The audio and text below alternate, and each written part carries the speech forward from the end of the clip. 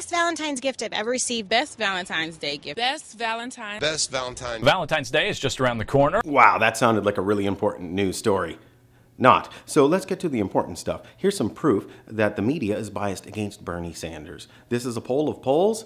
The red line is Hillary Clinton and the brown line is Bernie Sanders. You have to ask yourself what happened on this day right here. Bernie Sanders gets a bump in the polls between, say, January the 8th and January the 12th. To understand this, we have to understand how the polls are done. It takes about four or five days worth of phone calls and gathering data. So it's actually reflecting the opinions of earlier, somewhere around, say, January the 2nd. Ask yourself this question What was the mainstream media story? on January the 2nd. Where did you go for New Year's Eve? Did you watch the ball drop? What about the Boxing Week sale at the big box store that buys advertising on this television news station? Do you see politics on TV news on December the 25th or December the 24th? Did you get all your holiday shopping done? How's your Christmas tree look? Look, it's Santa. He's at the mall. What I'm saying is there was a two week period during the holidays when the media doesn't say anything about politics.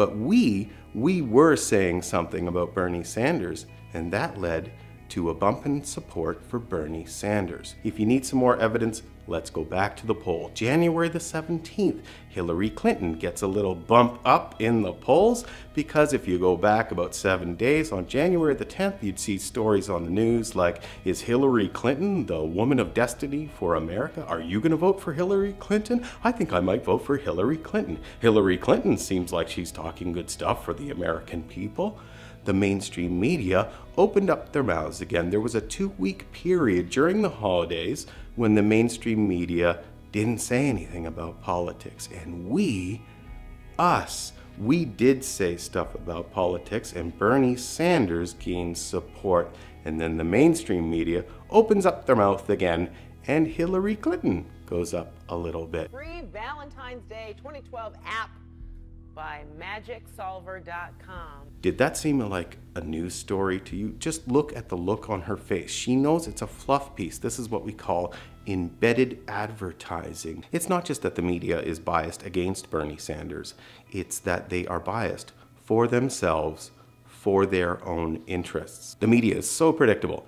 Every holiday, they have these fluff stories, feel good stories. Oh, yeah, about the billionaire who gave $10,000 to the kids. Oh, isn't he such a wonderful person? And you can get discount chocolate for Valentine's Day. And you can get a free piece of cake at this chain restaurant. St. Patrick's Day, all the students are drinking their green beer. And what about all that green that they spend on their education? And what about the planet 20 years from now that's not gonna be green? I like my broccoli to be green. For this Valentine's Day, I wish a more caring society rather than a society of greed on Wall Street.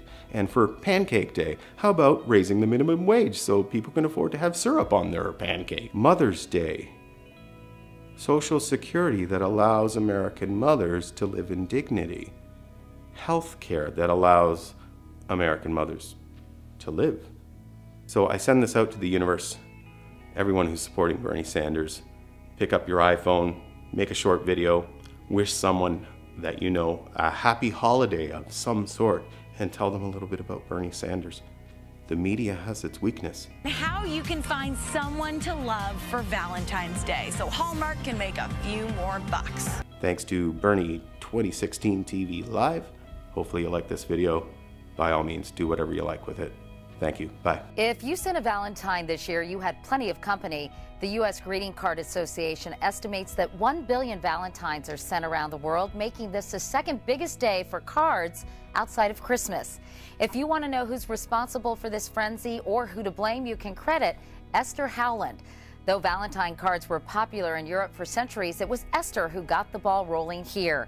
In 1847, she got a Valentine from England, like what she saw, and ordered lace and paper to start making them in Massachusetts. She sold them at her father's stationery store. And of course, the rest is history. Clearly, Esther was onto something. Over a century later, the humble Valentine continues to thrive. Even in the era of email and text messaging, sometimes when you care enough to send the very best, you just have to use a stamp.